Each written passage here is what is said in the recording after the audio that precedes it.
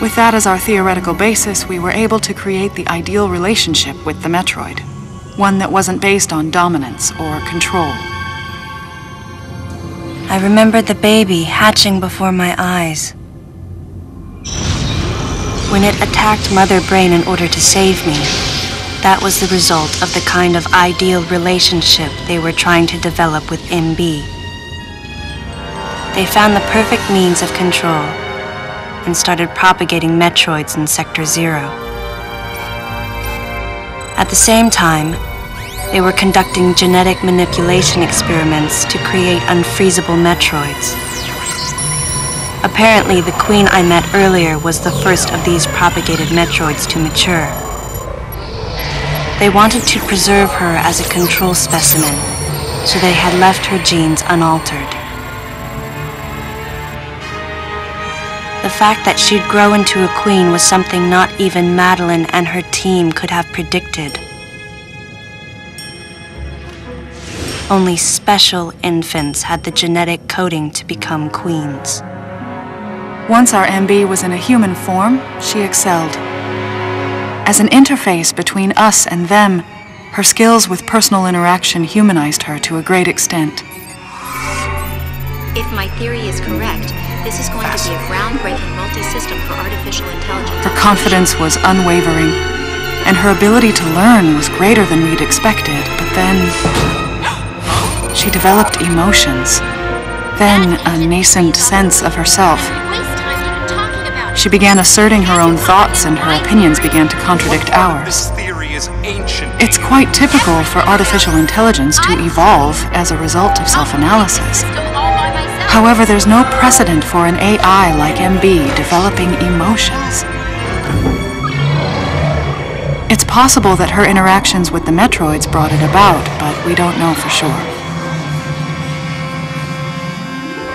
The newly hatched infant took to her like his mother. And perhaps at that moment, MB began to develop a soul. It was all conjecture, but the idea wouldn't leave my mind. And that was when we decided to alter her AI program. A human-like existence but one without feelings. To make MB less than human, the researchers had to deny her that consciousness. I knew this. But in my heart, I felt sympathy for MB.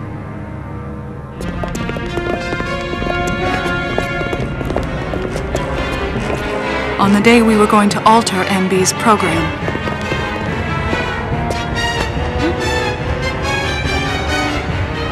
right before my eyes. Come on, come on! No! I watched her being restrained. Stop! What are you doing to her? These orders are from above. Take her away. Wait! Madeline! She reached out to me and asked Calm me down. for help, No! but there was nothing I could do.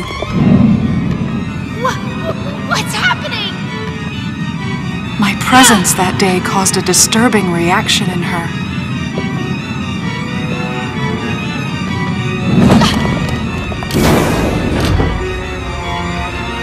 She was fixated on me. Madeline had taken to calling MB Melissa. She took the initials MB and told the AI they stood for Oh, Melissa, Bergman. It looks great on you. MB liked that name. It made it sound like Madeline was calling her her daughter.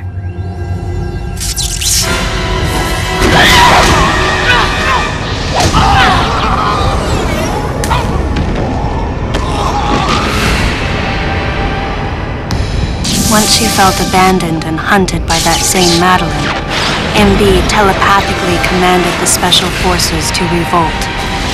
The facility fell into complete chaos and suffered widespread damage.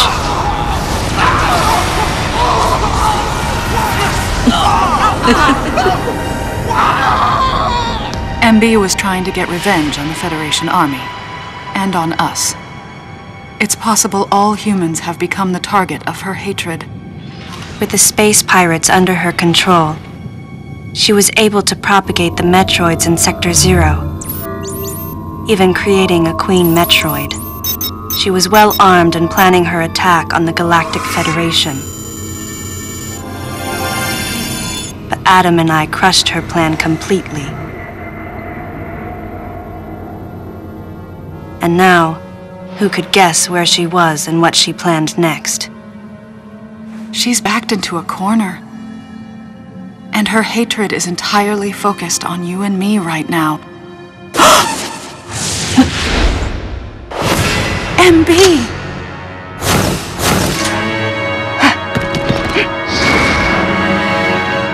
Wait, MB, calm down.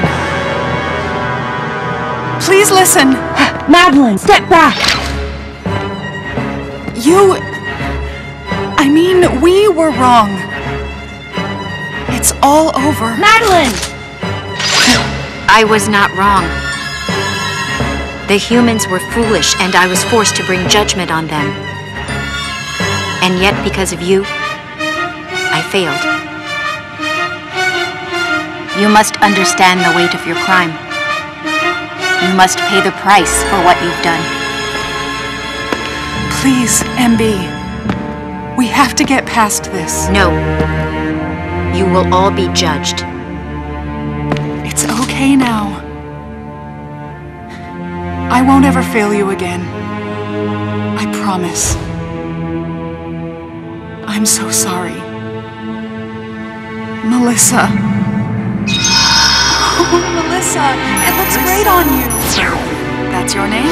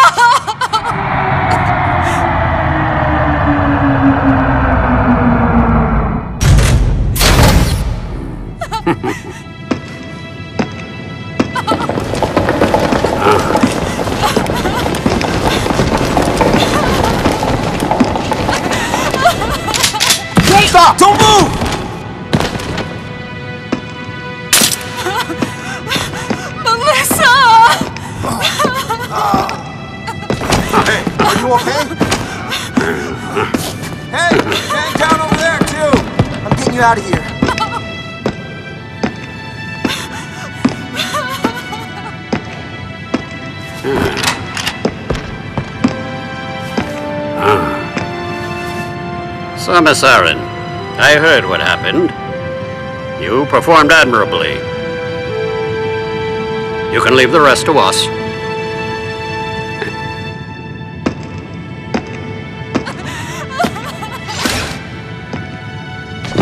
Come on, get up now. Madeline! Wait! Aran! Unfortunate what happened to Commander Malkovich. And to think that his entire unit was annihilated. Truly a tragic day.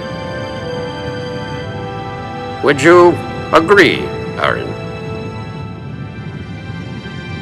Sadly, with them gone, you're just an outsider. And given your unofficial status, I cannot allow you contact with the witness. With your predilection for transporting illegal cargo like infant metroids, I must ask that you restrict your. Time for the lady to go home. Someone escort her. Yes, sir. Time for us to go. Come on, princess. What? Stop right there! Who are you? Anthony Higgs, sir. Galactic Federation Platoon 7. I need to secure the safety of any survivors, Commander Malkovich's orders, and the purpose of this mission. What? Authorized by the chairman of the Galactic Federation. Of course. What do you mean, the chairman? Man, you guys made it here quick. I mean, if I hadn't stopped the engines, we might have missed each other.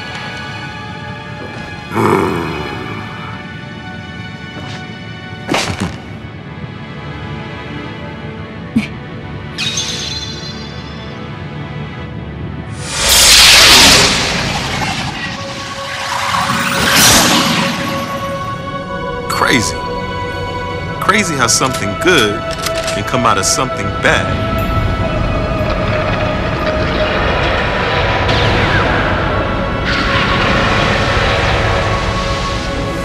Whoa, didn't mean to wake her. Guess I ought to be quiet. Anthony was trying to be courteous to Madeline. She was exhausted and had only just fallen asleep. She needed the rest.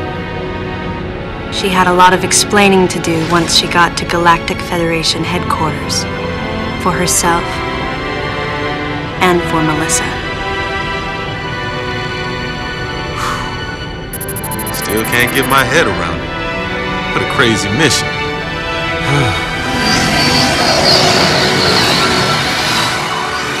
Anthony sighed as he muttered to himself.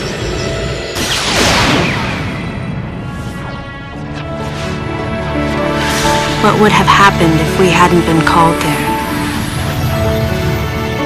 Might the furious MB have attacked the Galactic Federation and brought about its utter destruction?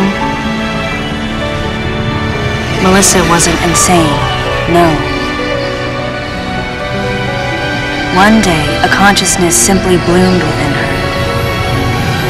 And those that caused it to bloom, the humans, called it insanity. I was the insane one. That was what Madeline muttered softly as she sank into sleep.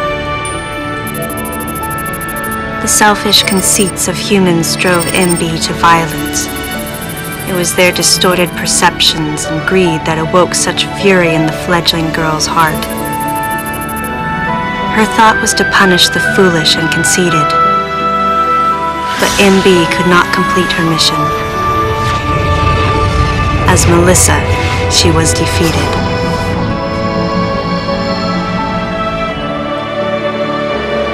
With their one vulnerability overcome, the Metroids were indestructible.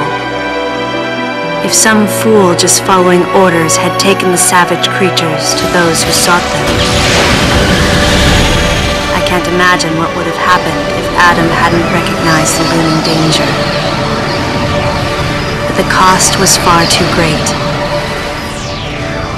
Why did Adam have to pay with his life? For me, I couldn't believe he was dead. For the first time, I questioned his choice.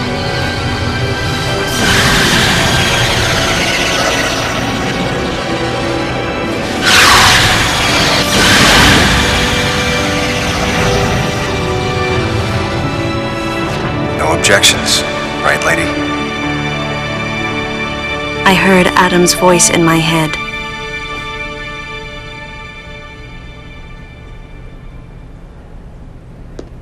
And I knew in my heart that he had made the right decision. Just as he had so many years ago. In that moment, I swore not to grieve his death. And for the first time, I gave him a thumbs up, just in case he was watching over me.